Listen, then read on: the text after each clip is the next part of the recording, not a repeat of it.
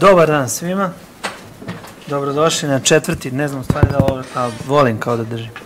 O, ovaj, dobrodošli na četvrti dan kursa Teorija praksa pravnog rasuđivanja i a, kao i svaki dan izuzetno mi je zadovoljstvo da pozdravim i naše današnje govornike, možda ne toliko ovog prvog,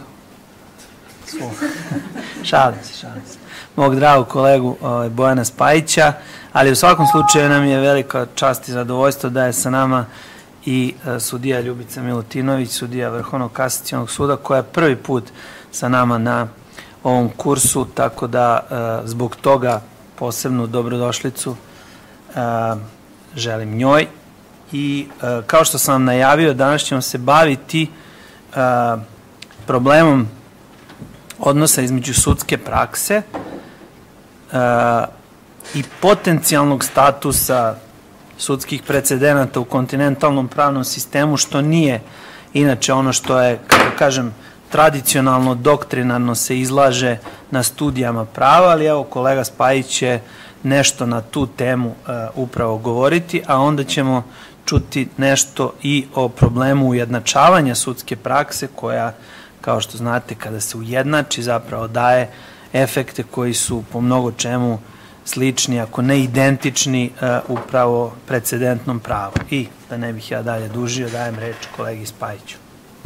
Hvala puno, evo, ovaj, moja sjajna prezentacija propaštena, tako da ću morati nešto sadržinski i smisleno da vam ispričam. To dvoje ovaj, a, manje smislenih sadržinskih stvari mora da se ispriča kada imate prezentaciju sa dobrim tranzicijama. Ali dobro. U svakom slučaju, danas ću vam govoriti o ulozi precedenata u sudijskoj primjeni prava na evropskom kontinentu. Što, kao što je Miodrag rekao, e, ne da nije dovoljno obrađena tema, nego uopšte nije tema. Na, e, još više od toga, kaže se uobičajeno da precedenti nemaju nikakvu ulogu u evropsko-kontinentalnim sistemima prava i kada čitate vaš učbenik iz uvoda u pravo, to je jedna od osnovnih teza. Precedenti prosto nisu izvor prava. Pokušat ću da vas uvjerim u dvije stvari, to je dvije teze danas. Prva teza, od koje će druga teza zavisiti, jeste da sudi uvijek stvaraju pravne norme. Dakle, ne nekada, nego uvijek da stvaraju sudije pravne norme. I druga teza je da su precedenti izvori prava u kontinentalnim pravnim sistemima. I jedna i druga teza su veoma kontroverzne i naravno komentari vaši su dobrodošli u bilo kom trenutku. Za prvu tezu će mi trebati 15 slajdova, u zavisnosti od brzine njihovih, njihovog pojavljivanja na ekranu. To će trajati između sat vremena i 3 sata. A ovaj, za drugu tezu nekih desetak slajdova. Pa da počnemo ovako, kao što ste počeli predavanje sa profesorkom Jasminko Hasanbegović i sa profesorom ovaj, Goranom Dajevićem, ili bar na sličan način. Pravo uobičajeno shvatamo i to nije kontroversno. Kao institucionalni normativni sistem u kojem određeni državni ili nadnacionalni, naddržavni organi stvaraju pravila ponašanja i primjenjuju ta pravila ponašanja.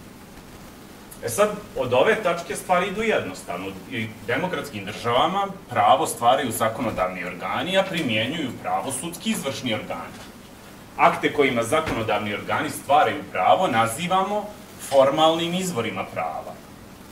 Odluke, na primjer rješenje ili presude sudskih izvršnih organa nazivamo aktima kojima se pravo primjenjuje. Na osnovu ovo ili ove koncepcije funkcionisanja pravnog sistema imamo i sledeću klasičnu sliku pravnog rasuđivanja ili klasični model pravnog rasuđivanja. Taj nam model manje više kaže ono što ste već čuli od profesora Dajovića i profesorke Hasanbegović. Imamo neko postojeće pravno pravilo. To je opšte pravno pravilo koje po ovoj našoj pretpostavci usvojio zakonodavac. Tako koji kaže, na primjer, to pravilo označio sam ga sa N1, lice koje vozi off-road vozilo u naseljenom mjestu treba da se kazni oduzimanjem vozačke dozvole imamo nešto što je utvrđeno činjenično stanje i o tome ste slušali bar, bar tri sata od profesora Dajovića i e, sudije Miodraga Majića.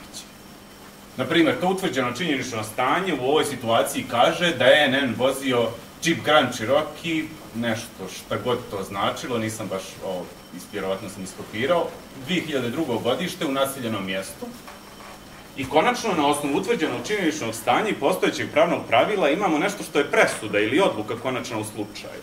NN će se kazniti oduzimanjem vozačke dozvole. Taj klasični model pravnog rasuđivanja podrazumijeva ono što vi znate sa prve godine i sa prethodnih predavanja kao silogističko rasuđivanje. I ovo silogističko rasuđivanje nije beskorisno. Znate, svaku sudijsku odluku biste u principu mogli da pronađete ove ključne elemente i da u sudijskoj odluci identifikujete te ključne elemente, jer sudijska odluka bi trebalo da funkcioniše kao silogizam. I to je tako od vremena prosvetiteljstva, naročito u kontinentalnim sistemima prava.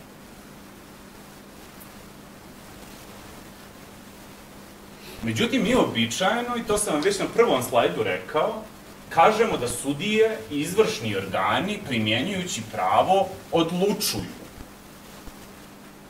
Odlučivanje znači, ako se pojavi, odlučivanje je kognitivni proces kojim biramo jedan od više mogućih načina djelovanja ili vjerovanja, koji se okončava izborom jednog načina djelovanja ili vjerovanja. Dakle, kada odlučujemo, imamo prosto bar dvije mogućnosti i između te dvije mogućnosti, na osnovu određenih razloga za i protiv tih mogućnosti, mi donosimo odluku. Ta odluka može rezultirati ponašanjem u skladu sa tom odlukom, ne mora. Ali rasuđivanje koje dovodi do odlučivanja funkcioniše na taj način što prosto biramo između nekoliko alternativa. Ajde da se vratimo za sekund ovom klasičnom standardnom modelu sudijskog rasuđivanja koji sam vam predstavio na prethodnom slajdu. U tom modelu viša premisa je data.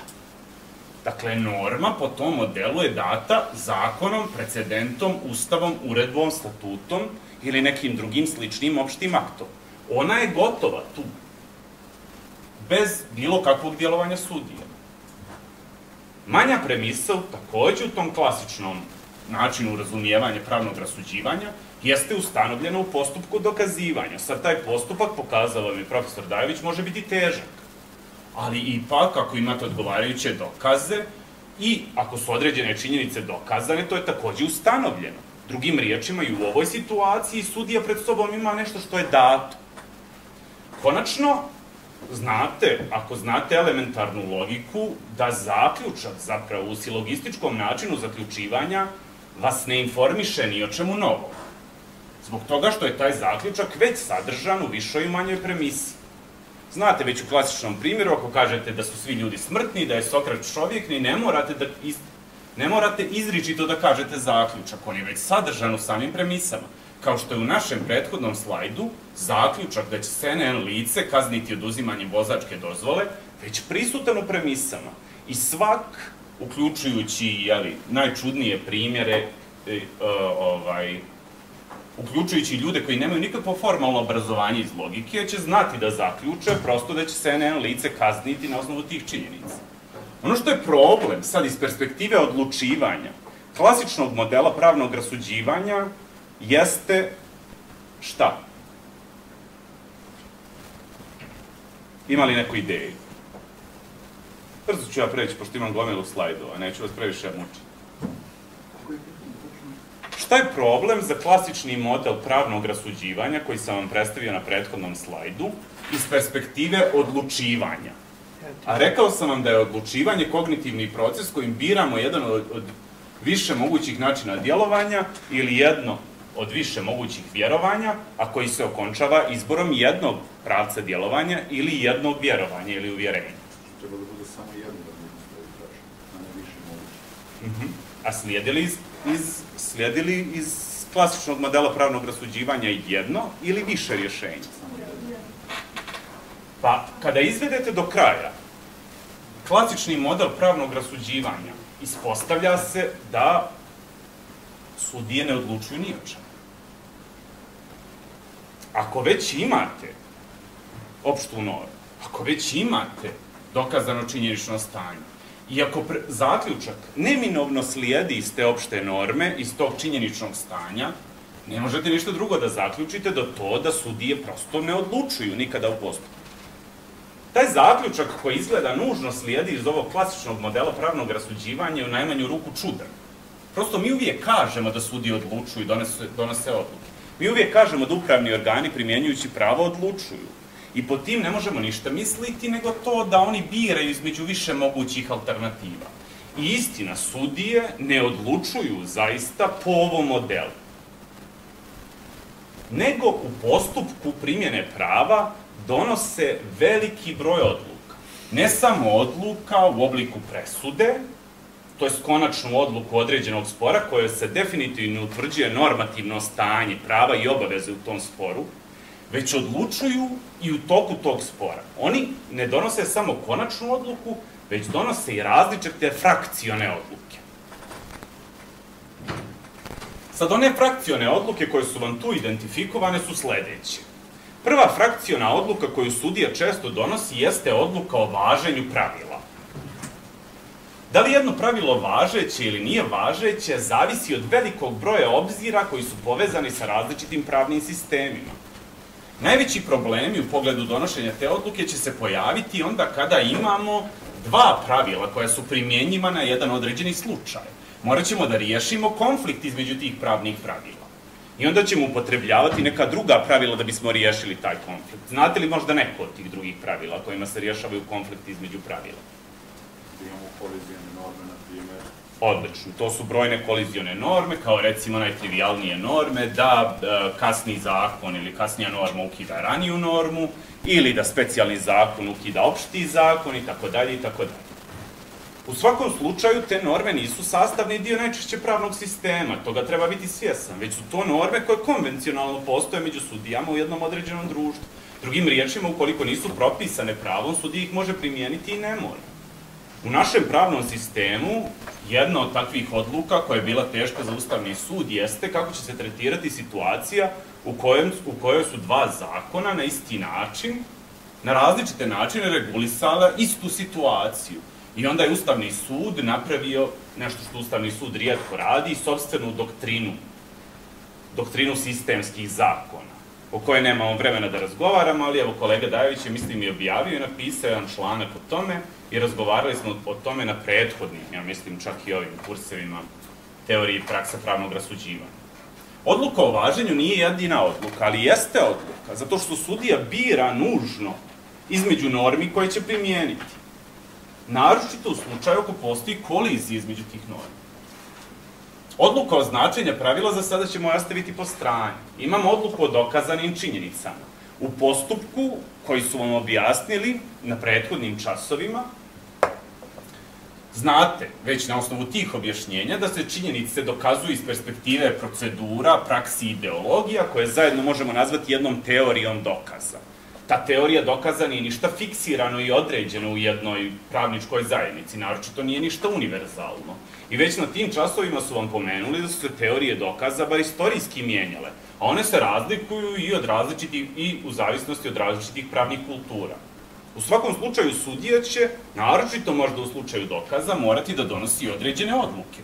O tome koji su dokazi prihvatljivi ili prihvaćeni, o tome koji dokazi nisu ili koji se ne mogu prihvatiti, a morat će da donese i odluku kako će cijeniti te dokaze, kada se oni izvedu. Neću namjerno pominjati slobodno sudijsko uvjerenje, zato što bi, zato što bi to trajalo. Konačno, ono što najčešće zovemo odlukom jeste presuda ili odluka o pravnim posledicama dokazanih činjenica. I to je konačno ono što znate kao presudu. To je u krajnjoj liniji ono NN će se kazniti kaznom oduzimanja vozačke dozvole. Pa. I u toj situaciji sudija će imati značajnu mogućnost odlučivanja. Možda zakon nekada neće biti najjasniji u pogledu toga šta će biti kazna koja sljeduje nekome, zato što, e, šta sam rekao u onom slučaju, vozi offroad vozilo u grad nego će reći, recimo, može mu se oduzeti vozačka dozvola, najčešće će to biti slučaj, a može se, recimo, kazniti nekim poenima. Može se u određenim okolnostima kazniti kaznom zatvora, pa se kaže kao standard između jedne i pet godina. U svakom slučaju, u sva tri, u sva četiri, od ova slučaja odlučivanja u sudijskoj primjeni prava, imamo nešto što jeste odluka sudije, Dakle, nije rezultat bilo kakve mehaničke primjene nekih prethodno postojećih normi, već je rezultat izbora jedne od više mogućnosti. Ono što nas danas interesuje jeste ova odluka. Odluka o značenju pravnog pravila. E sad, klasično shvatanje odluke o značenju pravnog pravila funkcioniše na sledeći način. Pravila jednog pravnog sistema i pravila koja mi zovemo, recimo pravila koja je usvojio zakonodavac ili ustavotvorac, opšta pravna pravila, pravila sadržana u statutima, recimo, kao i pravila sadržana u uredbama, se mogu nekada smatrati dovoljno preciznim. Pa će zadatak sudije biti da ta precizna dovoljno pravila primijeni. Tu situaciju kada sudija može da primijeni pravilo ne mijenjajući ni na kakav način njegov tekst. Zovemo situacijom izomorfije. Objasnit ću vam zašto izomorfije. U osnovi ono što je sudija utvrdio, dakle sadržaj teksta koji je sudija utvrdio, je u potpunosti istovjetan sadržaju teksta koji je dat u nekom izvoru prava. U okolnostima izomorfije važi jedno jednostavno pravilo za koje ste čuli možda i na prvoj godini, možda piše i užbenicima iz uvoda u pravo, koje kaže e, in clar, kla, e, non sunt interpretanda. To jest jasna pravila se ne tumače. Postoji druge situacije koje zovemo situacijama koje zahtijevaju operativnu interpretaciju, kada nam je neophodna odluka o tumačenju. Kada pravilo nije u dovoljnoj mjeri jasno, te je neophodno odlučiti o tome koje će se značenje pravila uzeti kao obavezujuće značenje. Odluka o značenju. A rekao sam odluka o značenju. To je dakle klasična slika ili kako klasično posmatramo odluku o značenju pravila ili tumačenje izvora prava, pravnih tekstova, zakona, ustava, bilo koju vrstu tumačenja. Dakle, imamo neke situacije u kojima je tekst zakona dovoljno jasan i u tim situacijama nema nikakve potrebe za tumačenjem, pa kažemo da je direktno primjenjujemo pravno pravilo.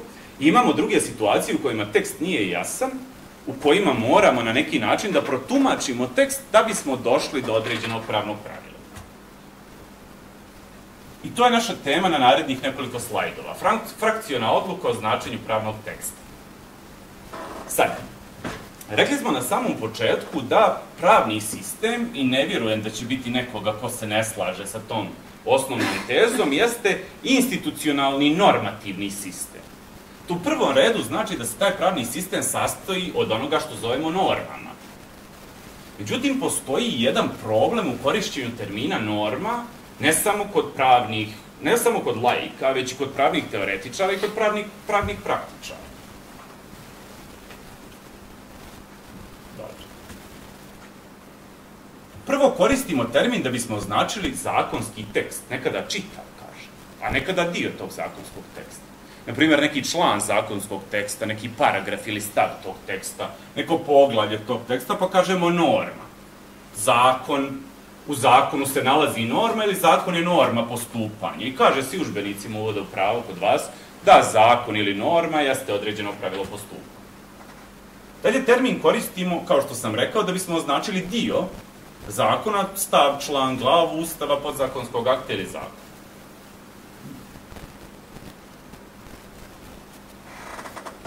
Ako bismo uzeli malo preciznije stvari, termin koristimo i da bismo označili samo normativne iskaze. To su oni iskazi koji sadrže riječi kao što su treba, obavezno je, poželjno je, savjetuje se, zabranjeno je, dužan si, imaš ovlašćenje.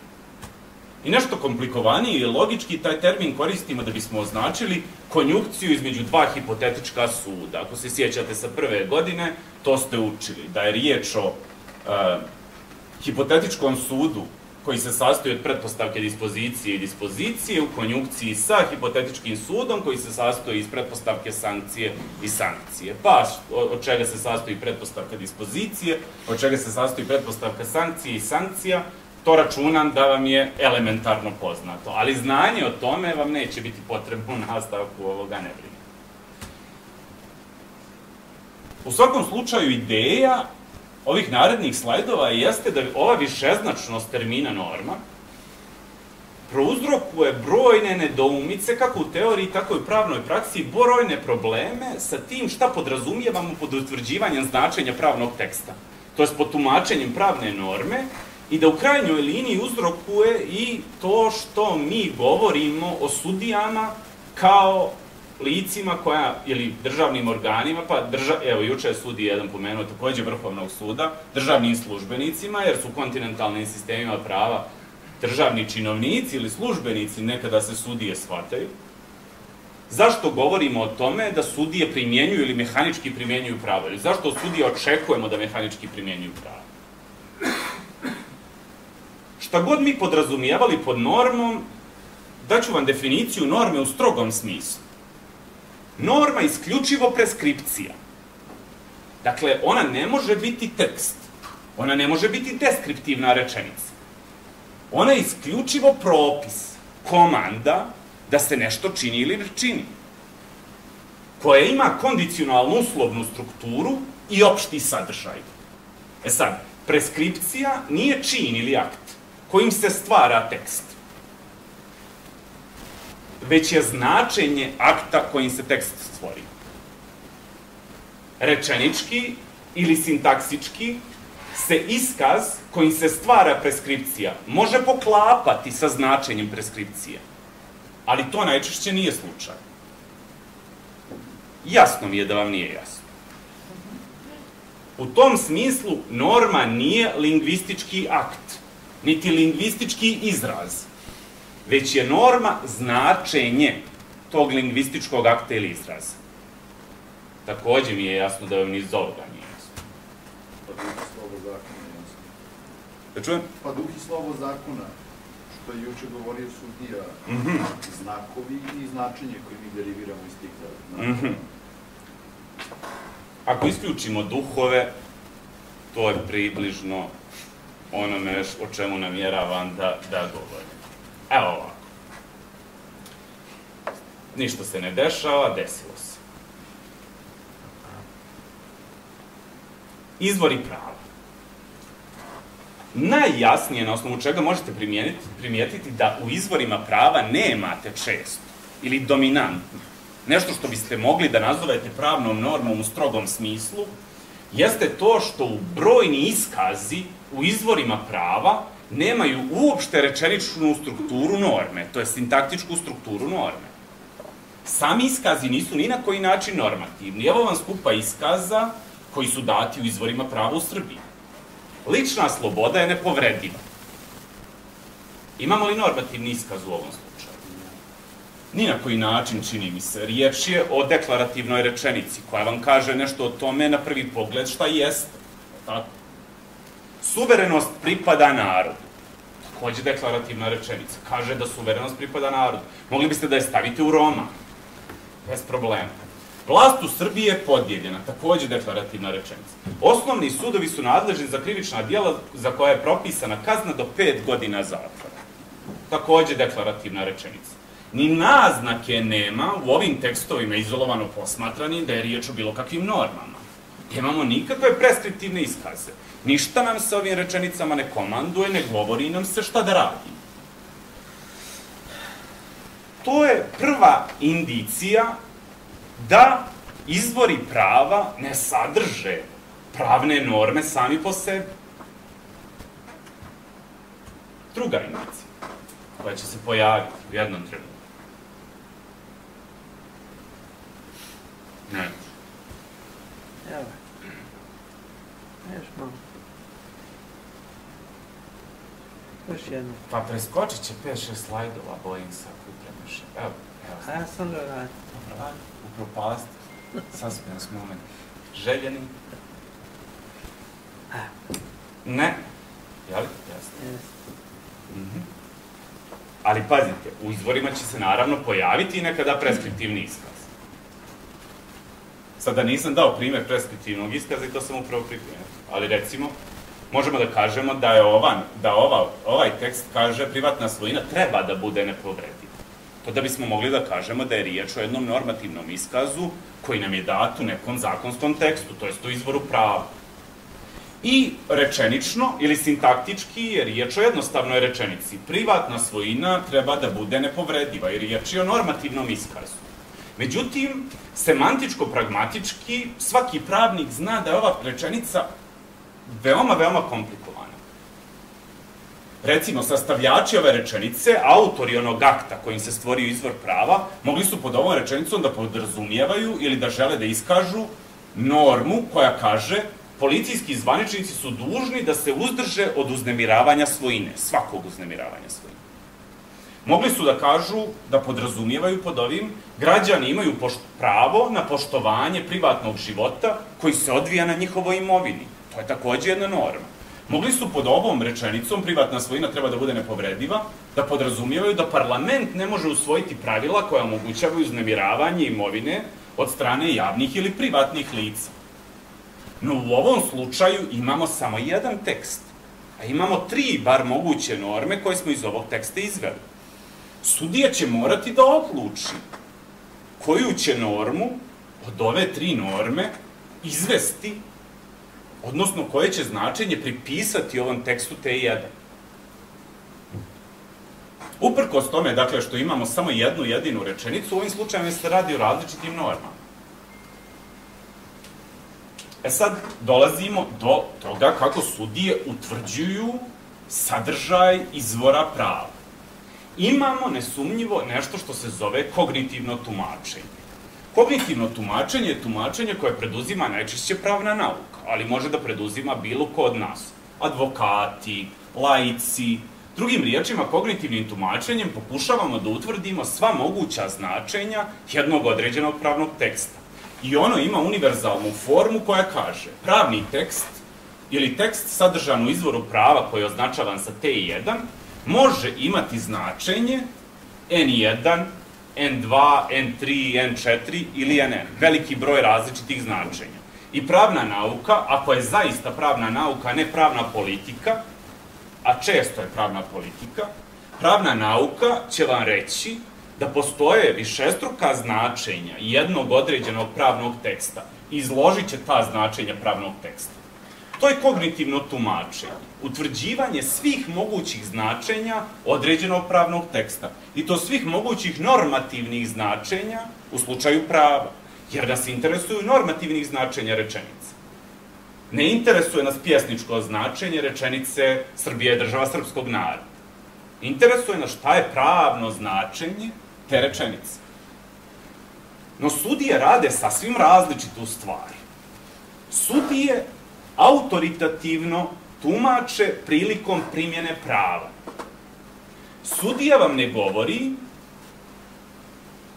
no tekst T1 ima sedam mogućih značenja.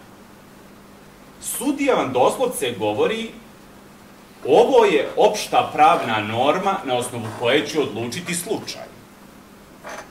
Dakle, jedno značenje sudija pripisuje pravnom tekstu. To je dužno sudije u svim savremenim pravnim sistemima.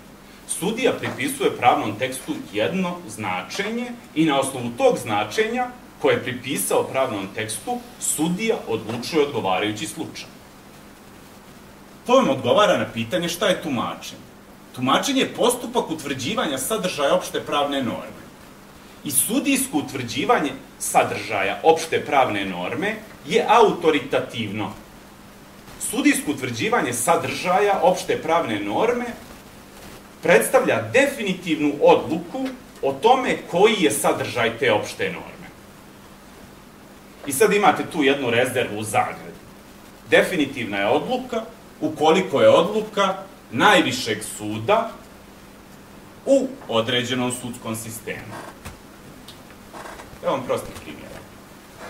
Ali,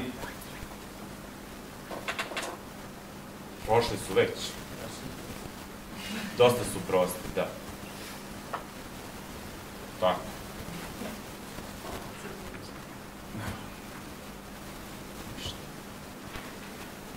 Ajde.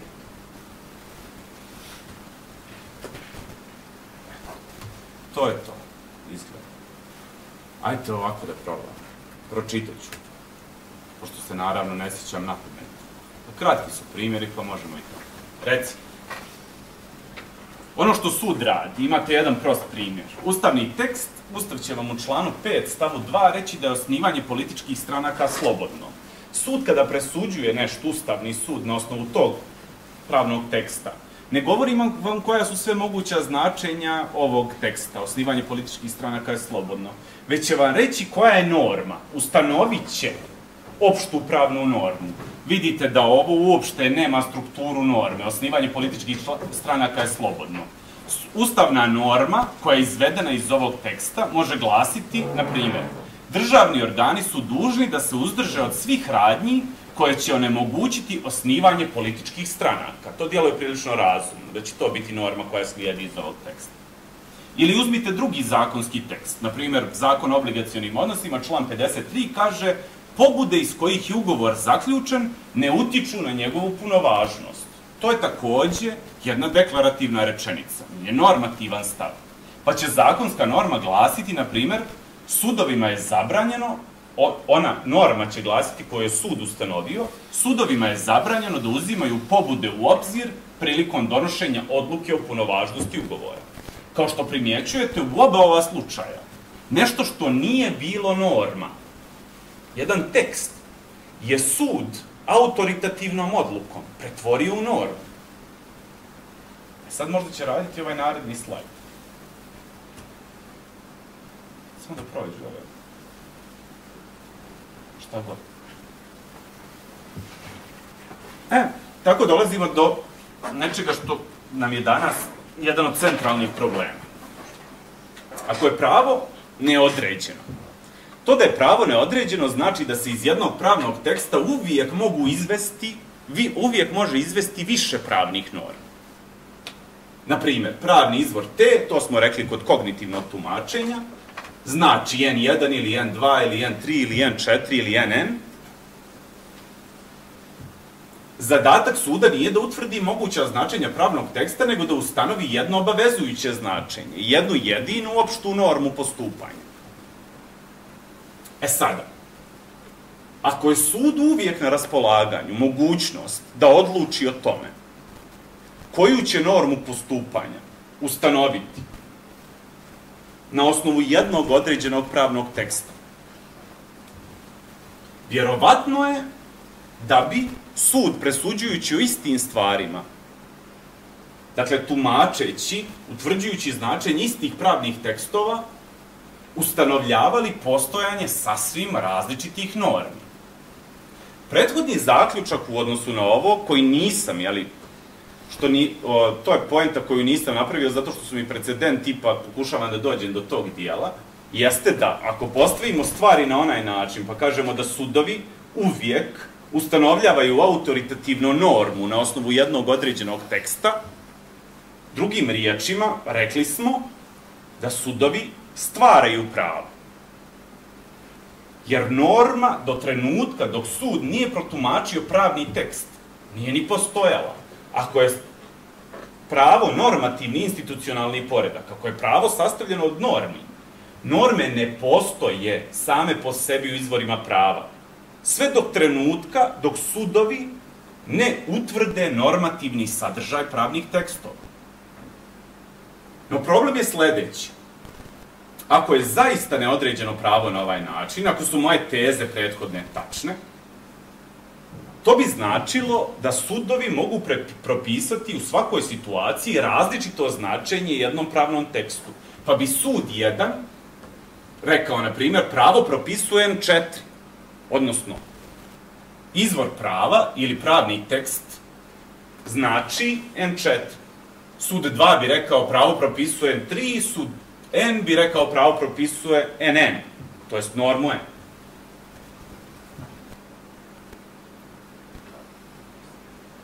Šta je problem sa ovim?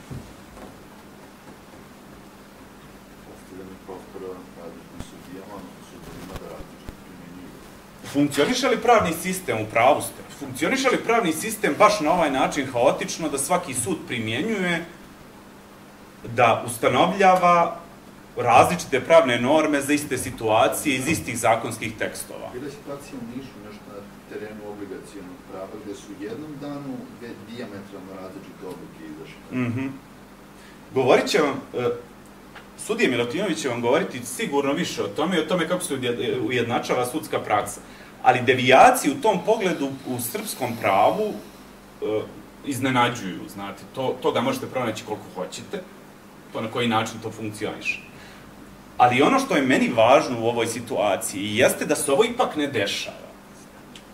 Dešava se u određenoj mjeri, u određenim pravnim sistemima koji su relativno funkcionalni, kao što je srpski pravni sistem. Ne možemo reći da je srpski pravni sistem optimalno funkcionalan. I takođe će vam studije Milutinović siguran sam reći nešto o tome, na koji način funkcioniše i koliki je napor to da dovedete do toga da sudovi zapravo na osnovu istih pravnih tekstova zaključuju na, odnosno pripisuju ista značenja istim pravnim tekstovima, to je stvara iste norme iz istih pravnih tekstova. No, ono što je moj problem u ovoj situaciji jeste sledeće.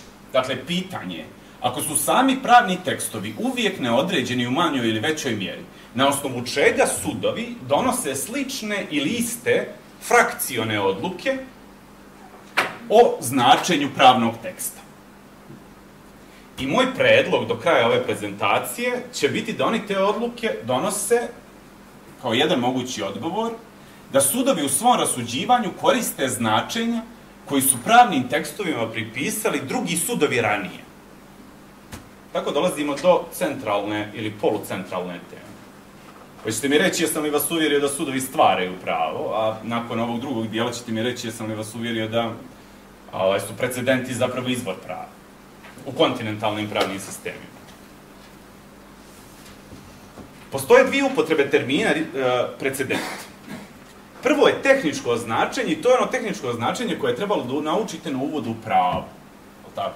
Uprkos tome što e, nije bilo tamo objašnjeno, ako se ja dobro sjećam učbenika iz uvoda u pravo, trebalo bi da se sjeća, pošto ja predajem svake godine po tom učbeniku. E, sumarno se može reći da su precedenti sudske odluke koje ustanovljavaju pravilo postupanja koje je obavezujuće za sudove u budućim situacijama. Sad, kratko ću vam to objasniti, nemam namjeru da ulazim previše u anglomeričke sisteme, iako će oni biti pomenuti tu, ali ideja je sledeća. Sud u jednom trenutku donosi odluku, o tako, rješavajući određeni slučaj. Sad ta odluka može dobiti status precedenta. Ako, na primer, američki vrhovni sud donese određenu odluku, ta odluka ima status precedent. Međutim, kao što vam je rekla, mislim, profesorka Hasanbegović predajući, ako se sjećate, to je bilo prije dva dana, tako da bi trebalo. Odavno. E, nije sve u toj odluci obavezujuće. I kolega je takođe pominjao da nije cjelokupna odluka obavezujuća. Obavezujući je samo onaj dio odluke u kojem se nalazi ratio juris. Ratio juris je ono na osnovu čega je donijeta odluka. Ono na osnovu čega je donijeta odluka u slučaju koji zovemo precedentom jeste pravno pravilo u angloameričkim sistemima ili anglosaksonskim sistemima prava. U tom smislu što sudske odluke sadrže opšta pravna pravila, to je pravila koja će se primijeniti na sve buduće slučajeve, u tom smislu kažemo da je precedent izvor prava u anglosaksonskim sistemima prava. Drugim riječima, vi ćete kao sudije ili kao advokat u anglosaksonskim sistemima prava pronaći sve moguće relevantne presude i pogledati koja su pravna pravila na kojima su te presude zasnovane, ukoliko je slučaj u kojem zastupate klijenta ili u kojem odlučujete, sličan slučaj u kojoj je tada presuđen. I onda će sud, da bi odlučio novi slučaj, ako je sličan sa tim starim slučajem, pronaći taj racio juris u presudi, dakle, ne ono ostalo, ne dokaze, ne činjenice, nego raciju juris, pravnu normu, pravno pravilo i to će pravno pravilo biti obavezan da primijeni u novom slučaju. To je tehničko značenje termina precedent. I u tom smislu precedenti su formalni izvori prava. Međutim, imamo i nešto što se zove uobičajeno značenje termina precedent. I one postoji kako kod nas, tako i u engleskom jeziku, recimo, i u većini drugih jezika. Precedent je, kažemo, na osnovu tog uobičajenog značenja svaka prethodna odluka koja na bilo koji način, izričito ili prećutno, služi kao model za odlučivanje o sličnim pitanjima u sadašnjim ili budućim slučajevima. U običajnom značenju precedenti nisu izvor prava. E sad pazite, u tehničkom značenju precedenti su izvor prava. To da je nešto izvor prava znači jednu određenu stvar u pravnom rasuđivanju koju ću vam objasniti. Ali u običajnom značenju precedent je uobičajen način razmišljanja. Tako funkcionišemo. Recimo da su vam roditelji dozvolili da odete na ljetovanje u Grčku sa momkom ili djevojkom u trajanju 20 dana. Ako je to još uvijek aktualno, niste, vi ste stari, ni ne pitate više, nije važno. U svakom slučaju, recimo da Samo imate... za novac. Samo za novac pitaj. Ne pitaju Da. za dozu. Ne, da, nego samo za. Da, možda. Pa ne, pa nije, godine su me pregazili. To sam... Uh, recimo da imate brata koji je godinu dana stariji i da on pita vaše roditelje takođe istovjetan sadržaj tog zahtjeva. I s dobrim razlogom će vaši roditelji razmišljati na sledeći način, vjerovatno. Ako smo dozvolili ili ako smo donijeli odluku u slučaju uh, Marka, tu odluku bi bilo najbolje da donesemo i u slučaju Nikole. To rasuđivanje jeste rasuđivanje na osnovu primjera ili rasuđivanje na osnovu precedenta. Prosto, mi kažemo često da rasuđujemo na osnovu primjera, to možemo nazvati i rasuđivanjem na osnovu precedenta. I to je rasuđivanje veoma često u svakodnevnom životu, ne samo ovi slučajevi sa roditeljima, nego bilo kada.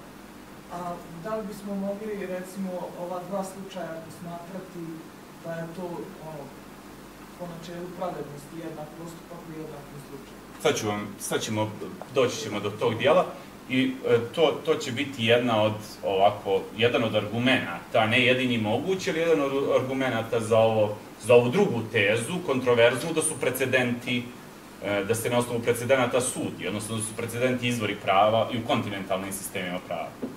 Dakle, u tehničkom značenju, tehničkom pravnom značenju se traži jedno određeno značenje precedenata. Dakle, precedenti su pravila prethodno postojeća koja služe za odlučivanje u narednim slučajevima.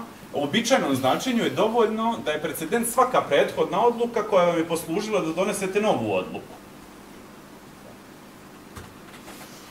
Imamo i dvije vrste precedenata, to mi je takođe važno. Prvu vrstu bismo mogli nazvati precedentima rješenja. Na osnovu precedenata rješenja, sud je obavezan da riješi slučaj na osnovu pravila koje je sadržano u sudskoj presudi ili odluci koja ima status precedenta. Precedentima se ustanovljava pravilo. Dakle, pravilo i na osnovu tog pravila iz prethodne sudske odluke se rješava svaki budući slučaj. Međutim, imamo još nešto što zovemo precedentima tumačenja. S obzirom na to da sud uvijek mora da donese frakcijonu odluku o značenju teksta, odluka o značenju koju je donio sud ranije, ta isti ili drugi sud, može na različite načine uticati na odluku koju će sud donijeti u narednom slučaju. Naprimjer, sudovi, uobičajeno u kontinentalnim sistemima prava, se osjećaju obaveznim da slijede svoje prethodne odluke. Dakle, uobičajeno postoji obaveza suda, koja nije zakonski propisana obaveza, da se odluke prethodno donijete slijede. Tako dolazimo i do toga kakva može biti obavezujuća snaga precedenata, ili kako precedenti prethodne odluke, bez obzira na to da li su precedenti rješenja ili da li su precedenti tumačenja, mogu uticati na naredne sudijske odluke. Prvi način uticaja jeste da je izričito pravom propisano da sudije moraju odlučiti ili tumačiti pravo na osnovu prethodne odluke suda, na primjer Vrhovnog suda. Tada kažemo da presude, ako je pravom propisano, ustavom propisano, da moramo pratiti prethodne sudske odluke ili ako je to ustanovljeno nekim konvencionalnim pravilom, kao u Sjedinjenim američkim državama ili u Velikoj Britaniji, ne postoje formalno pravna pravila koja obavezuju sudove da slijede precedente. Tada kažemo da su precedenti, bilo precedenti rješenja, bilo precedenti tumačenja, formalni izvori prava. No, sudija može biti prinuđen na neki način da postupi u skladu sa precedentom zbog hijerarhijske nadređenosti suda koji je stvorio precedent. To se zove u angloameričkoj pravnoj praksi vertikalni uticaj precedenata. I kod nas će on u velikoj mjeri postojati. Zašto postoji vertikalni uticaj precedenata? Zašto će se niži sud najčešće odlučiti da pripiše tekstu značenje ili da odluči slučaj na osnovu onog pravila na osnovu kojeg je viši sud odlučio slučaj? Zna jednostavno ko je rekao? Jer će mu viši sud oboriti presudu. Sad, ako ste pametan sudija, vodit ćete i tekako računa o tome što odlučuju viši sudovi, je li tako? Zbog toga što to što odlučuju viši sudovi, od toga će zavisiti da li će vaša presuda biti oborena ili podržana od strane višeg suda. U tom smislu imate neke prudencijalne razloge, razloge korisnosti zbog kojeg možete slijediti precedent, zbog kojih možete slijediti precedent. Konačno, sudiji precedent uh, može biti uvjerljiv. Može biti, ima u Srbiji sjajnih sudija koje odlično pišu obrazloženja i na osnovu tih obrazloženja, sadržaja tih obrazloženja, drugi sudija može reći ovo je zaista sjajno obrazloženje, potpuno sam uvjeren da je to ispravno obrazloženje ili da je to ispravna odluka, ili da je to ispravna odluka o značenju, to jest da je to ispravno rješenje, ili da je to ispravno tumačenje, i na osnovu sadržaja toga, sudija može reći da prihvata, je li, to rasuđivanje drugog suda. Vidite, u prva dva slučaja, o tome vam neću previše govoriti. Riječ je o nečemu što zovemo praktičkim autoritetom, u prvom slučaju, i kažemo uobičajeno da pravo ima praktički autoritet. Ako vam Ustav kaže da ste dužni da slijedite precedente, onda vi nemate mnogo izbora. Vi ste obavezni da slijedite precedente bez obzira na njihov sadržaj, samo zbog toga što su oni precedenti. Ako nemate ustavno, zakonski, konvencionalno ili običajno propisano da ste dužni da slijedite precedente, onda možete razmišljati o sadržini precedenata. I u ovom drugom slučaju možete biti baš uporni, znate, pa da kažete, kao što se desilo recimo jednom e, njemačkim sudovima 80. godina, da je jedan viši sud uh, u jednoj uh, državi Njemačkoj 167 puta poništio istovjetne odluke nižih sudova. Niži sudovi su bili baš uporni, pa su donosili iste odluke u vezi sa statusom jedne manjine u Njemačkoj i trebalo je, bilo je neophodno 165 puta da se obore odluke, presude sudova nižih, da bi sudovi počeli da postupaju u skladu sa praksom višeg suda. Dakle, možete biti baš uporni, ali u krajnjoj liniji hijerarhija će odlučiti. I u tom smislu vam i kažem da sudija na neki način može biti prinuđen. Je li tako? To je neka vrsta prinude, nije direktna prinuda, je tako? Ne daj Bože da možete u savremenim demokratskim državama, osim u Turskoj i još nekim državama, i još dosta država, da prinudite sudije na nešto. Ali eto, tako zamišljamo, znate, to kako zamišljaju nastavnici, e, kako izgledaju savremene demokratije. Dobro. To su mogući uticaj precedenata na buduće sudske odluke. Precedenti rješenja u kontinentalnim sistemima prava. Rekao sam vam šta su precedenti rješenja, to da ponovimo samo još jednom, dakle to su pravila se ustanovljavaju precedentima rješenja i na osnovu tih pravila rješavate druge slučaje. Precedentima tumačenja se ustanovljavaju značenja pravnih tekstova, to je pravne takođe norme na neki način. Uslovno je ovo... Za neki primer da daš tu da, da bi to bilo jasno, ja mislim, evo kolega. Ajde. Ajde, daj. Recimo prigovor savesti. Gledano, recimo, on je najprej bio žestoko spodovan, mm -hmm. onda mu je tržak karakter religijskog prava, ne bi li onda praksom Evropskog suda za ljudska prava, on zapravo bio posebno izvedeni šan same sume za i svim pravima, zapravo je sloboda misli, savesti i veroiskosti.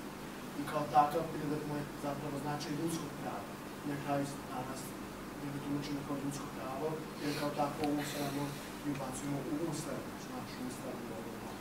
To je primjer koji može biti komplikovan, ali jeste to. Evo, jednostavno ću vam postaviti stvari. E, recimo, da mjeseci po dana e, koristimo ove elektronske cigarete i sad tu ispred vrata i vjerovatno negdje u sali piše da je zabranjeno pušenje. Tako.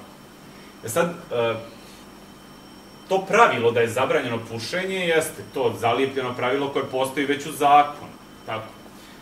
Zvanično zvanična norma koja slijedi iz tog pravila jeste da je zabranjeno korišćenje cigareta. Odnosno, nije dozvoljeno korišćenje cigareta u javnim prostorima. E sad, na osnovu toga je dozvoljeno, ja sad neću vam demonstrirati, ali na osnovu toga je dozvoljeno korišćenje elektronskih uređaja koji proizvode dim. Bar ja ne vidim da je to zabranjeno. Ali Nije- zamislite sledeći slučaj. Nije to dobar primjer. Jeste, jeste, veoma dobro. Nije to. Ne, ne, slušaj, Zato što, pa nije dobar, zato što je to pravna praznina, jer kad smo donosili tu normu, mi smo postavili dve cigare i ovo što je jako. Tako da Ajde ovako. Ajte ovako. Uzmite sledeći slučaj. Recimo da norma zaista kaže da je zabranjeno pušenje. Da ta norma dođe, ovaj moj spor, da se ja zaista idem tuda po hodnicima i dođe taj spor, tuži me neko i tako dalje, ja se tužim, sudimo se i to dođe na neki način volšeban taj su, spor do apelacionog suda. I apelacioni sud treba da odluči o tome da li sam ja prekršio ovo pravilo ili da li je prekršeno ovo pravilo ili nije prekršeno ovo pravilo. Znate da se sudovi u višim instancama pretežno bave tekstovima ili nedoumicama koje su pravne, a ne činjenične i o tome smo govorili često. I recimo da sud odluči zaista da je upotreba elektronskih cigareta pušenje. Što može da uradi, u zavisnosti od toga da li želi to da uradi, po mom sudu, ili po sudu drugih nastavnika, da li, ne znam ni ja, su se stekli uslovi racionalni i tako dalje. Ali sud to može da uradi i tekako, zato što je to, za to sud autorizovan. Sud može da tumači pravo i sud tumači pravo i sud donosi odluku, kao što sam vam rekao o tome šta će biti pravo, to je šta je opšta pravna norma, i sud može reći da je to zabranjeno. To može postati precedent tumačenja. Sud će u tom slučaju reći, podvešće, pod pravilo koje kaže zabranjeno je pušenje, to pravilo će uključivati zabranjeno je korišćenje cigareta, ali i električnih cigareta. Zbog toga što su, i sa nekim obrazloženjem, nije važno obrazloženje, ali norma će se substancijalno promijeniti. Ali ti je to istovremeno i primer za precedent rešenja. Pa bi bilo dobro da odvoji, Ja mislim, mislim da je Odvojio sam- za stvaranje prava uh, u pravnim kažem nije dobar primjer za ovo. dobro. Odličan Evo, odluka, odluka apelacionog suda, recimo, evo, imali ste ovo, ovo pitanje, a, kakva je priroda a, ovih a, bankarskih zajmova koji su u švajcarskim francima i da li se, da li je reč, ne znam, o aleatornom ili nealeatornom ugovoru i tako dalje. Ne, ne ulazim sad uopšte u to. Ali imate recimo odluku apelacionog suda a, dve odluke, ali tako, u Novom Sadu. Ovaj, ako niži sudovi krene, krenu da slede to tumačenje na način kako se objasnio, to je zapravo a, precedent rešenja. Precedent rešenja, Mhm. koji možda u sebi sadrži i elemente precedenta tumačenja, ali najlakše da zamislite precedent tumačenja kada se sud izjasni o značenju nekog pojma, recimo njegovom opsegu, proširi ga u nekom smislu koji do tada nije bio očigledan. Kao što ste učili kroz istoriju kako se širilo značenje reči stvar, šta je ona sve podrazumevala, pa sad odjednom, recimo u nekom trenutku je sigurno neki sud rekao da je stvar i nekakav sadržaj koji se postavlja na netu i koji može isto tako da bude predmet krađe kao i nekakva fizička stvar. Dakle, u tom smislu kada se sledi ono što je sud utvrdio kao značenje reči, onda je to precedent značenja o kojem, o kojem je e, Bojan govorio. Imaćete jednostavan primer za to u svemu onome, u, u svim onim slučajevima u kojim se sud izjašnjava prosto definiciju određene riječi. I to će vam biti sasvim slično onome što zakonodavac radi kada sada normira u um, dijelovima zakona koji se tiču definisanja osnovnih pojmova. Član 112 krivičnog zakona. to nije autentično tumačenje, ali jeste, uh, jeste um, to, spisak. Definicija određenih pravnih pojmova. To su stipulacije značenja pravnih pojmova, to je pripisivanje značenja od strane zakonodavca, kako bi se smanjio prostor za pripisivanje značenja od strane sudova. Često će se pojaviti od da precedenti tumačenja i precedenti rješenja, mada je problematična naravno ta podjela, iz različitih razloga, ali na to bismo potrošili puno vremena, a pojašnjava dosta stvari i to ću jednu napomenu ću vam dati u vezi sa tim, kasnije malo, ali u svakom slučaju ideje jeste da se u precedentima tumačenja sud utvrđuje, definitivno pripisuje značenje određenoj riječi. Kao recimo u primjeru koji vam je neko davao prije nekoliko dana, znate da naši sudovi tretiraju i zajednicu koja je trajala dva dana, ukoliko je postojala namjera, recimo, e, duže zajednice života, koja se verifikuje najčešće time što su uzeli zajednički stan, tretiraju kao porodicu. Po koliko je bilo nasilja, moguće je suditi nekom iz te zajednice za nasilje u porodici. Imali ste te slučajeve. Faktički je time značenje riječi porodica primijenjeno i na slučajeve života u zajednici koja je trajala u isto stanu dva, svega dva dana. Uprkos tome što je to značenje potpuno različito od onoga što mi uobičajeno podrazumijevamo pod porodicom i neko vam je to sigurno možda i Goran pominjao na, pre, na jednom od prethodnih časova. Precedenti rješenja, s druge strane, ustanovljavaju pravno pravilo. Ovaj, ustanovljavaju...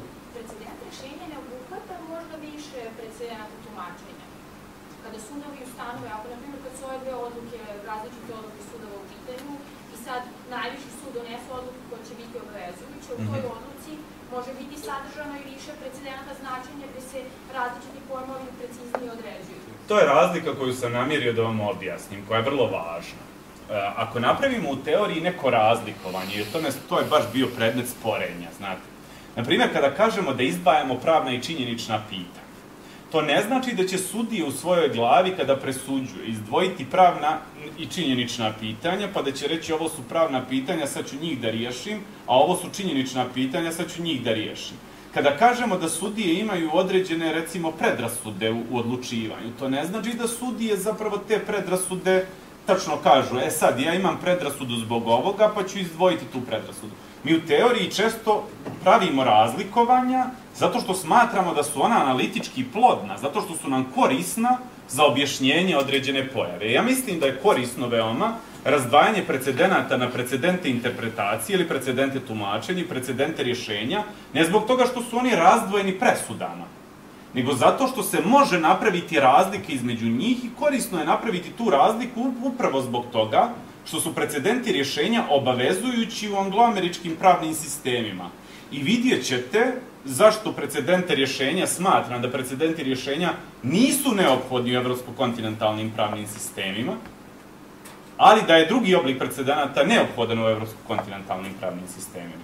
Ali svakako, u jednoj presudi se može naći i precedent rješenja i precedent tumačenja.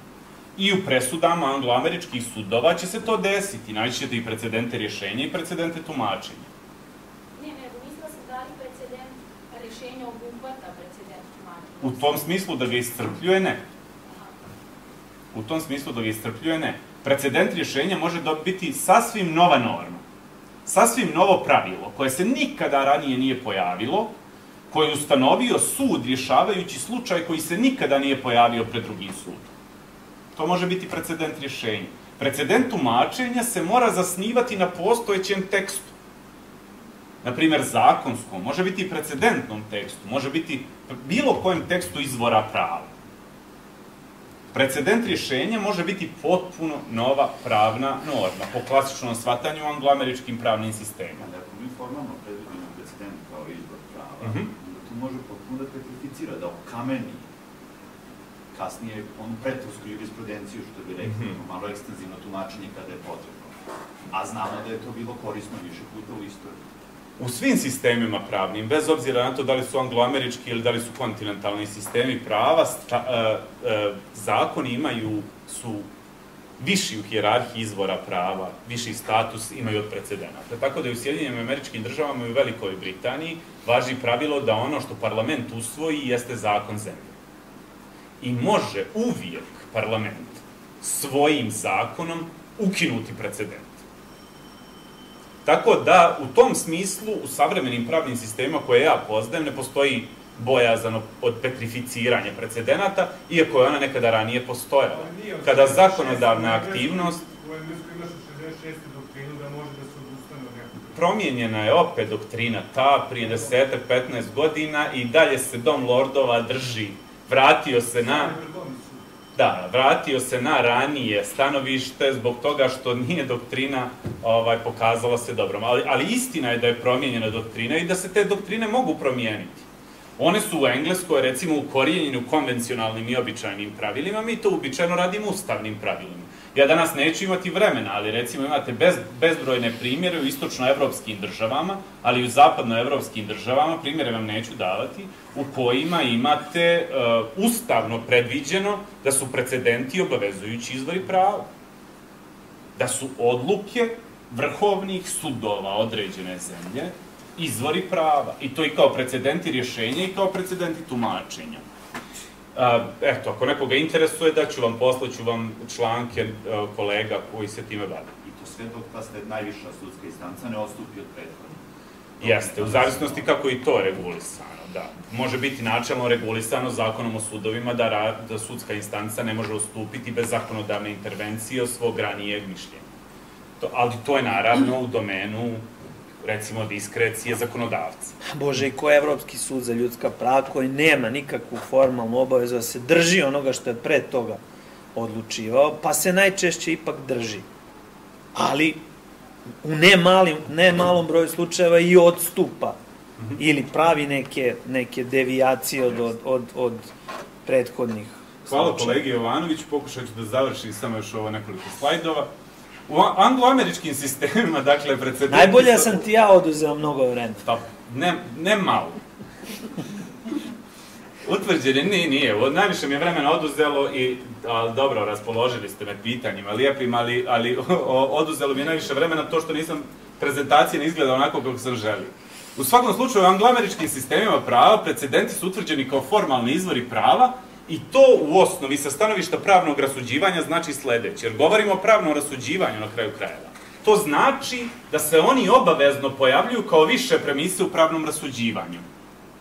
Precedenti u tim sistemima, s obzirom na to da su formalni izvori prava, obavezuju zvaničnike koji pravo primjenjuju. Dakle, obavezni su da ih primjene. Ako postoji precedent koji se odnosi na slučaj koji je trenutno pred sudom, sud je dužan da presudi na osnovu precedenta i precedent je obavezna viša premisa u presuđivanju suda. S obzirom da to nije slučaj u kontinentalnim sistemima prava, najčešće kažemo u pravnoj teoriji i pravnoj praksi da precedenti rješenja igraju veoma malu ulogu.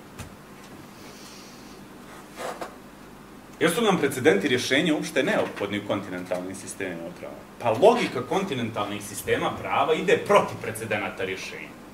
Kaže, u tehničkom smislu, opšta pravna pravila sadržana u obavezujućim izvorima prava zamjenjuju pravna pravila sadržana u presudama koje imaju status precedenta.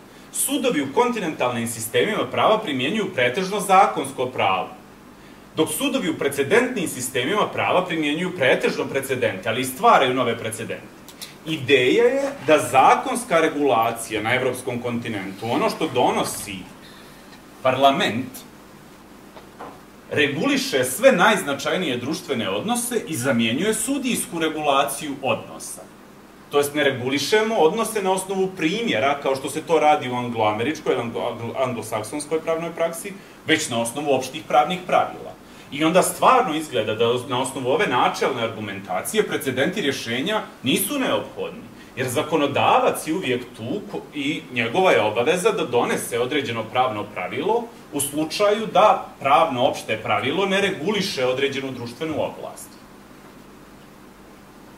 Sasvim je drugačija situacija sa precedentima tumačenja. Prvi argument.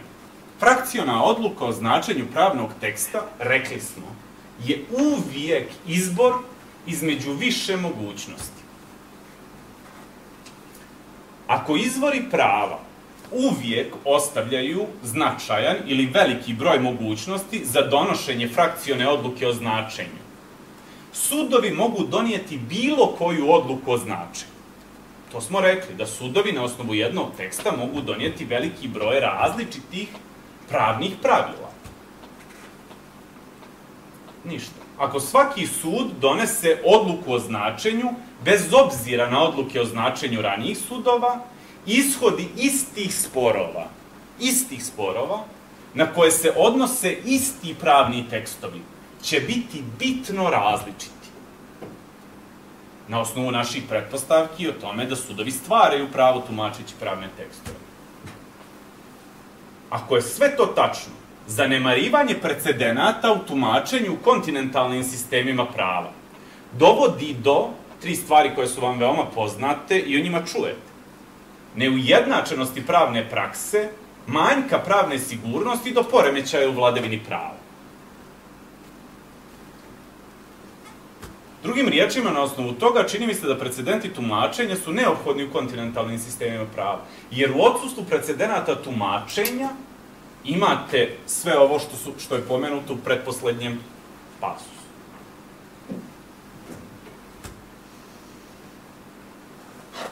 A sad na osnovu svega ovoga što sam vam rekao, ostaje da riješim samo još jednu stvar, pa ću vas pitati za uvjerenje. Ako u, raz, u teoriji prava našoj razlikujemo formalne i materijalne izvore prava, pritom su materijalni izvori prava, znate i sami, ono ništa nešto, što utiče na to da nastane opet nešto ništa. Društveni odnosi, istorijske okolnosti koje su dovele do toga da pravo, psihološka stanja koja su nastala i tako dalje i tako dalje. Znate onaj dio koji niste učili iz uvoda u pravo, nego samo jednom pročitati. I imate formalne izvore prava, pa među formalne izvore prava ubrajate ono što je navedeno u članu po Grijašiću 192 Ustava Srbije, možda se to i promijenilo, u kojima se nabrajaju izvori prava. Dok si bio u Nemačku. Dok sam bio u Nemačku. Možemo da kažemo da precedenti definitivno, ni u smislu precedenata rješenja, ni u smislu precedenata tumačenja nisu izvori prava. Na osnovu naše doktrine izvora prava.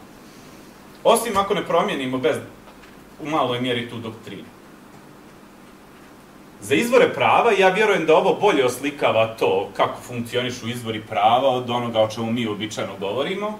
Kažemo, možemo reći da postoje neki obavezni izvori prava ili must sources of law. To su izvori prava koje sud na osnovu neke pravne, konvencionalne ili običajne norme dužan da iskoristi prilikom primjene prava. Dužan, obavezan da iskoristi.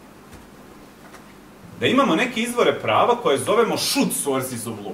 Izvore koje bi sud trebalo da iskoristi. To nisu izvori koji su propisani pravnim normama, već su izvori koje, za, u vezi sa kojima postoji kolektivno uvjerenje ili uvjerenje zajednice pravnika, da sud treba da ih uzme u obzir prilikom odlučivanja ili donošenja odluke i imamo nešto što zovemo ili možemo zvati opcioni izvori prava ili may sources of law. To su izvori koje sud može iskoristiti u tom smislu da mu nije zabranjeno pravno da iskoristi te izvore, ali ne postoji norma koja ga na to obavezuje, niti postoji kolektivno uvjerenje da te izvore treba da uzme u obzir. Nesumnjivo je po mom sudu da su precedenti u kontinentalnim sistemima prava, na osnovu svega ovoga što sam vam ispričao, should sources of law. I to samo u onim slučajevima u kojima nisu ustavom ili drugim opštim pravnim aktima ustanovljeni kao obavezujući izvori prava u jednom nacionalnom kontinentalnom pravnom sistemu. Hvala.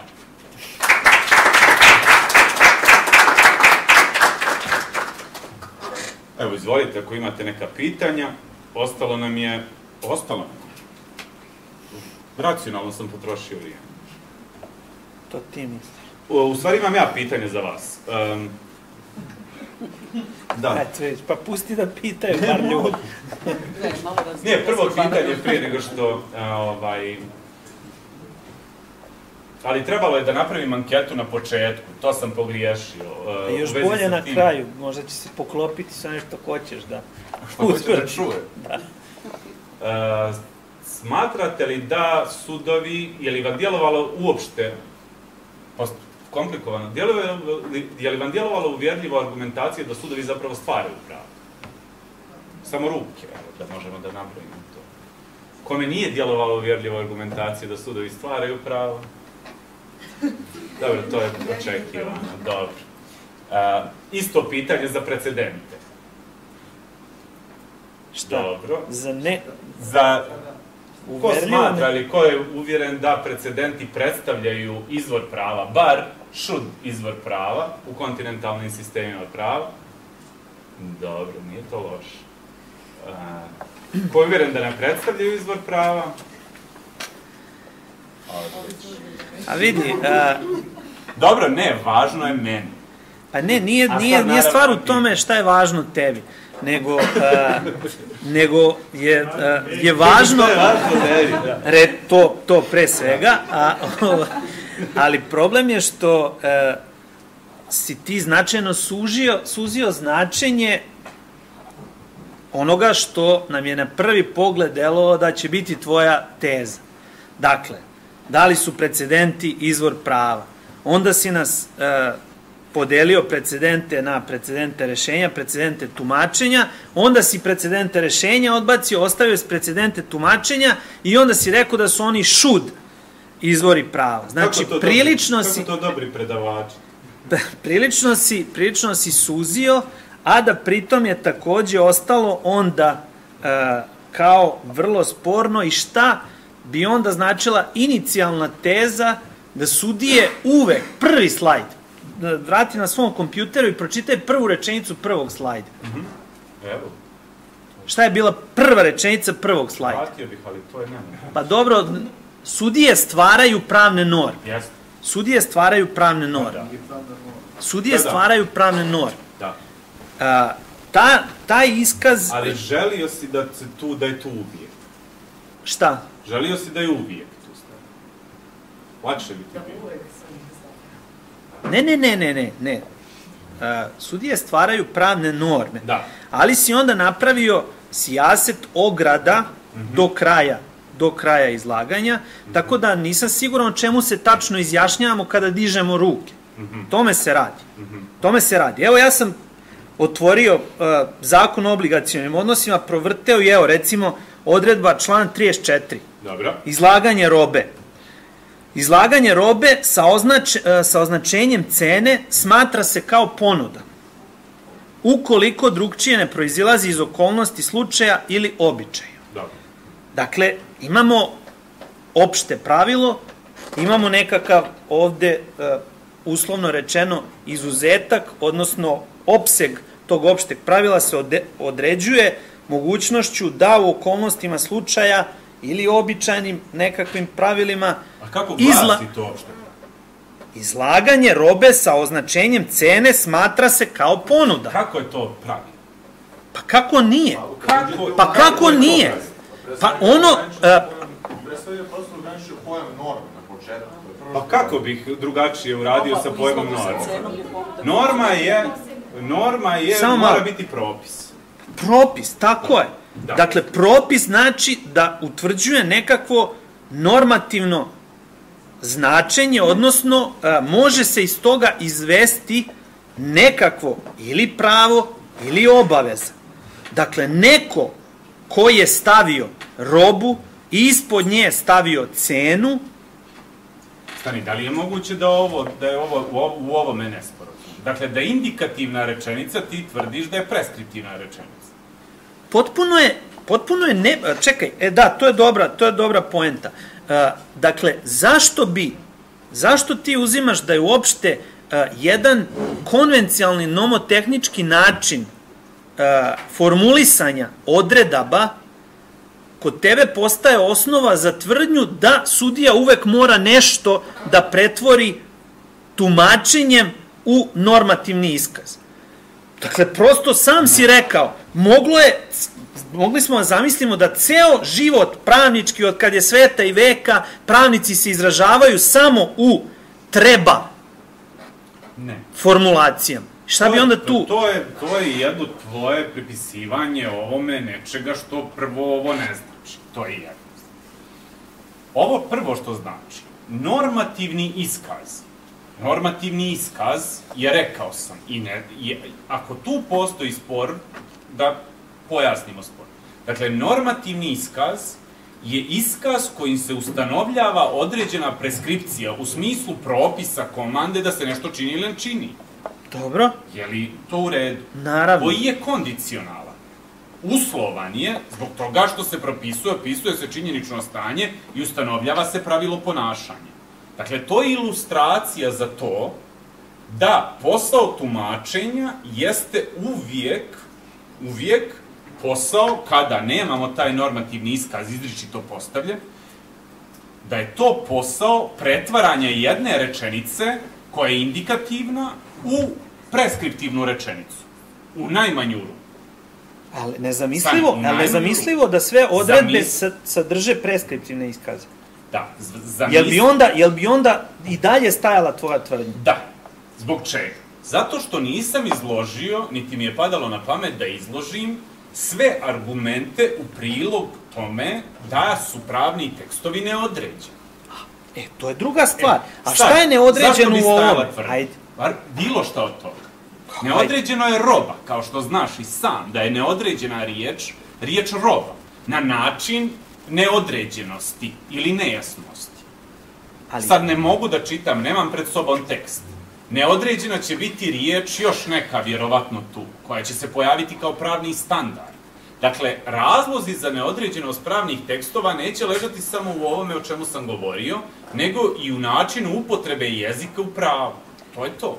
Dobro, ali tvoja in, inicijalna tvrdnja je, dakle, da ne postoji ono što bi se e, nazvalo nekakvim krugom slučajeva koji su e, nesporni u smislu značenja e, onoga što jeste roba ili što jest, jeste cena ili što jeste izlaganje, što su reči koje se koriste ovde u, e, u ovoj odredbi zakona. Postojeće saglasnost često u vezi sa tim slučajevima. Naprimjer, nema previše sporova o tome kad pa auto parkiraš i podigne ti ga po autu. Ja vjerujem da procentima od 1 ili 2 se mjere ti sporovi koji nastanu povodom toga, zbog toga što ljudi fotografišu i te odredbe su takve da sintaktički se odredba poklapa sa njenim normativnim sadržajem pod određenim uslovima i to ne vidim kakav je problem u tome. Mogu ja samo nešto? Evo, iskoristio sam mikrofon da bi...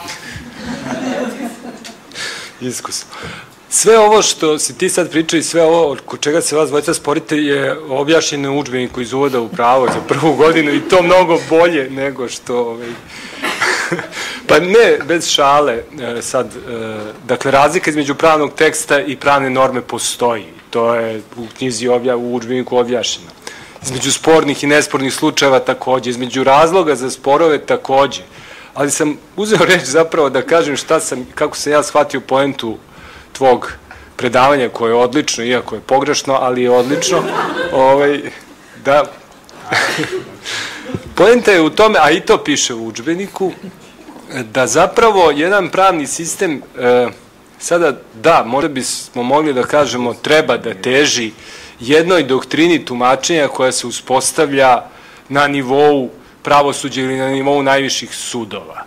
I to je ono što, o čemu smo mi više puta pričali u knjizi je, recimo u učbeniku se pominju doktrine, normativne teorije tumačenja, instrumentalizam, tekstualizam, je jel? prethodnih 50 godina učbenika. je, pa nisam, ne sjećam se, ali dobro. Ovaj, u svakom slučaju, radi se o tome da da, ako u tom smislu precedenti tumačenja treba da uspostave jednu relativno koherentnu doktrinu tumačenja unutar jednog pravnog sistema, ja se slažem da oni, nazvali ih mi izvorima prava ili kako god ih nazvali, ili precedentima, da oni treba da postoji, da to pokazuje jednu optimalnu funkcionalnost jednog sistema i to naravno imamo u zrelim pravnim sistemima. Imamo i imamo stalno otvorene debate o tim doktrinama. Tako da u tom smislu ovo što je glavna poenta ja bih samo možda drugačijim rečima ovaj, iz- izrečeno podržao, da. Ako je to tvoja glavna ideja, mislim da jeste. Jeste, da. To su, ne, jasno je šta je moja glavna ideja, to je ona izražena, na kraju krajeva stoji u ove Nego dvije teze, ali to manje nije moj, reči moj, da moj, kažeš. moj Miodragov spor uopšte. To Miodrag ima stanovište po kojem postoje fiksirana značenja, očigledno određenih riječi, ja nisam na tom stanovištu i riječ je o dvije koncepcije semantičke. Ja smatram zaista da postoje neka ograničenja u tom pogledu, ali da su one u krajnjoj liniji relevantna. I kao što znaš, ja smatram da je sudija ovlašćen da riječ iz zakona, ovlašćen pod znacima navoda, da riječ e, vozilo, da korist, riječ vozilo, sudija može da odluči da riječ vozilo označava znate, e, kadu u pokretu. Zbog toga što je to priroda sudijskog posla, zato što sudija ima autoritet da tumači pravo i može da pripiše značenje... Čak i kad kada nema točkove. Čak i kad kada nema točkove, Samo čak i kad nije ni u pokretu. da, ali u svakom slučaju smatram da sudija može. Da li smatram da je to pametno? To je druga stvar. Druga, to je potpuno druga stvar, ali u deskriptivnom smislu sudino tumačenje pripisivanja značenja pravnom tekstu, stipulacija značenja. Sudija odlučuje o tome šta je viša pravna, šta je opšta pravna norma. Prosto to je centralna teza, na osnovu toga tvrdim da sudije stvaraju pravo. Na osnovu toga što je moguće pripisati mnogo značenja pravnom tekstu, tvrdim to da su precedenti u ovom slučaju i ono što je recimo smisleno pitanje, rekao sam tu da jesu izvori prava, a u stvari je trebalo da stoji na osnovu ovoga što sam izložio da treba da budu izvori prava, zbog toga što to u krajnjoj liniji ujednačava sudsku praksu i mislim da je to više bio slučaj da sudije nisu A delom i zato što reč should znači treba.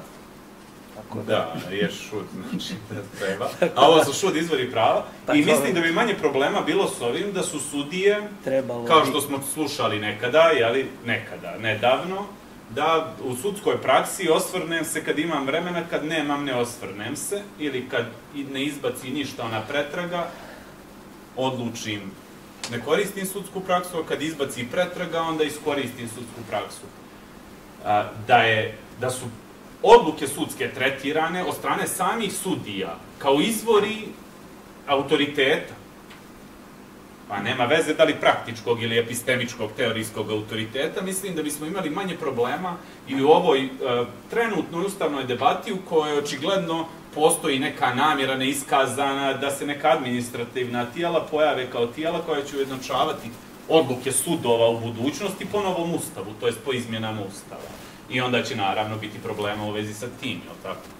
Recimo, recimo u, svetu, evo, baš ja sam ovdje prigovor savjesti. Znači, imali smo jedno značenje, to je, znači, prigovor savjesti se ulaže samo u slučaju e, lice odbija da nosi, nosi ili koristi oružje, jer je to protivno njegovim religijskim uverenjima. Ok, i to je bilo neko početno značenje koje je bilo manje ili više prihvaćeno u svetu.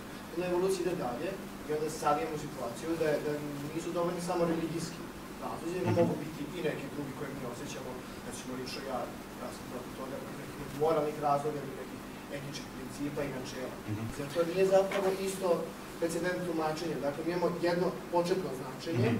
i za ljudska prava to tumači na, na prvi način, samo religijski. Mhm. I onda ide situacija dalje, imamo slučaj recimo Bajetija i Armenije, Mhm. 90. godina. Mi onda sad zapravo, Evropski sud prava kaže, ok, hajde mi da to sve izvedemo iz člana 18, hajde da kažemo da zapravo institut prigovora savesti proističe iz slobode misli, savesti i veroispovesti. Znači, hajde da ga tumačimo sad na drugi način, ne kao religijsko, nego kao čisto ljudsko pravo.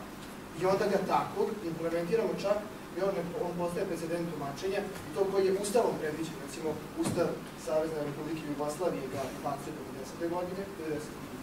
Druge. pardon, i onda 2006. godine mi i dalje zadržavamo taj institut. I sad mi govorimo o nečemu, recimo o civilnoj službi, o tome on se dalje razrađuje zakonima o civilnoj službi u vojci Srbije itd. itd. Meni, meni zapravo, ja sam zato delio to neko uverenje s vama, smatrujući da zapravo delim i dalje zapravo, smatram da je taj precedent uticao i tekako, znači da je jedno tumačenje prigovora savesti evoluiralo vremenom, menjalo se, da je kao tako postao opšte prihvaćeno, pa je čak implementirano lagano i u pojedine pravne sisteme. E, Ja sad znam da. Ne, saglasan sam potpuno sa tom analizom i postoji objašnjenje tako nečeg. Ova prezentacija je zasnovana na jednom članku koji je objavljen u jednom poljskom časopisu, naravno ne na poljskom, nego na engleskom jeziku. Tako da evo, ako držimo još uvijek ovaj Moodle, možemo, mogu vam postaviti taj članak, nisam postavio ranije. On je nešto komplikovaniji, zato što objašnjava precedente sa stanovišta otprilike ovog dijela, sa stanovišta njihove obavezujuće snage, pa se govori o praktičkom i teorijskom autoritetu precedenata, znate. I onda će vam se pojaviti ove, moj naj, najbolji, recimo moj, lični pokušaj objašnjenja toga o čemu vi govorite jeste da nemamo samo praktički autoritet, u tom smislu da vas obavezuje nešto kao što vas obavezuje zakon, već imamo i nešto što se zove epistemički autoritet u pravu, da postoji tendencija da se odluke određenih sudova ili ova pripisivanja značenja pravnim tekstovima, naročito, na primjer, Evropskog suda za ljudska prava, ali nekih značajnih sudova koje nemaju veze sa, eh, recimo, srpskim pravnim sistemom, uzimaju kao autoriteti prilikom pripisivanja značenja našim pravnim tekstovima. I onda imate tu u tom članku i neke primjere u vezi sa tim. Recimo, Irski sud imao tendenciju da tumači određena pravila onako kako ih tumači Američki vrhovni sud. Znate. I to su vam situacije koje su u savremenoj literaturi uobičajene, ja mislim da taj izraz nije adekvatan, nazivaju sudijskim dijalogom. Ja mislim daleko da je adekvatniji izraz koji, e, ovaj izraz, teorijski ili epistemički autoritet. To je situacija u kojoj jedan sud ili jedan sudija drugi sud tretira kao ek, neku vrstu eksperta. I siguran sam da to takođe ima u učbeniku ovaj, uvoda u pravo, ali nisam stigao do tog dijela. Dobro. Tako da. Evo, pošto je isteklo vrijeme, Jeste. e, E, ništa, napravit ćemo Napravit ćemo pauzu od kratku 10 pauzu. minuta, pa, ali 10, ne više. pa onda slijedi interesantni dio. Da. Ja, vama ne treba ovaj, tako? Ne treba, ja sam, ja sam tiši.